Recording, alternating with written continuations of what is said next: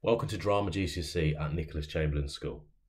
My name is Mr. Squirewood, and I'm one of the drama teachers here at Nicholas Chamberlaine. And I will be taking you through a deeper look into the GCSE course and what we have to offer as a drama department.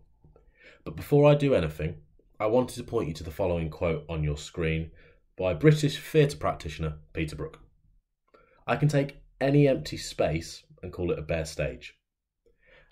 A man walks across this empty space while someone else is watching, and this is all that is needed for an act of theatre to be engaged.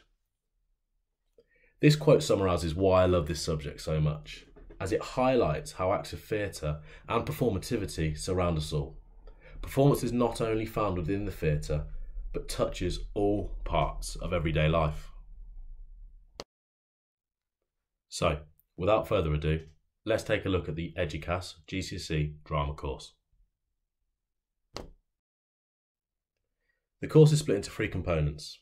These components combine to make your overall grade at the end of year 11.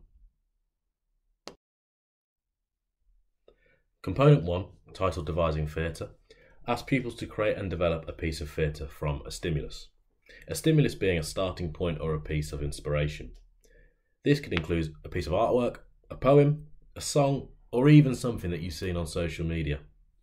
Pupils will be asked to create a performance based on this stimulus alongside a written devising log, where we will analyse and evaluate their rehearsal process and final, final performance. The component provides pupils with a choice to explore either performance elements or the design elements of theatre. Component 2 Performing from a text. Pupils will explore two extracts of a given text.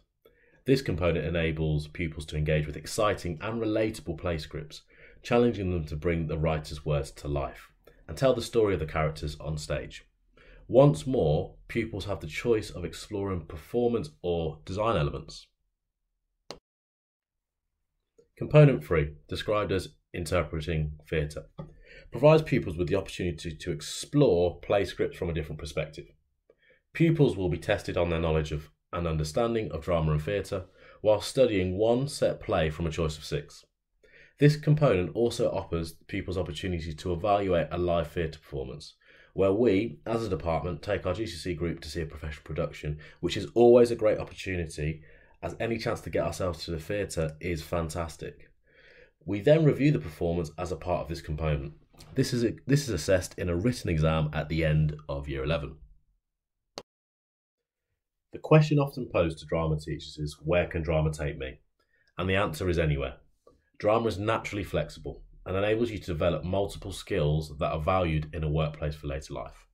Skills such as communication skills, problem solving, teamwork, self discipline, leadership skills, respect, adaptability and flexibility, working under pressure, confidence, and determination. These skills allow for drama pupils to go into a number of different areas of work. Some are listed on the screen now, but I could have listed many more. The subject truly has no limits. Finally, drama is a subject that often scares pupils. My job is to help with those fears. But if I could give a piece of advice, it is this don't follow the crowd and be the same as everyone else. Challenge yourself. Drama can take you anywhere. Where will it take you?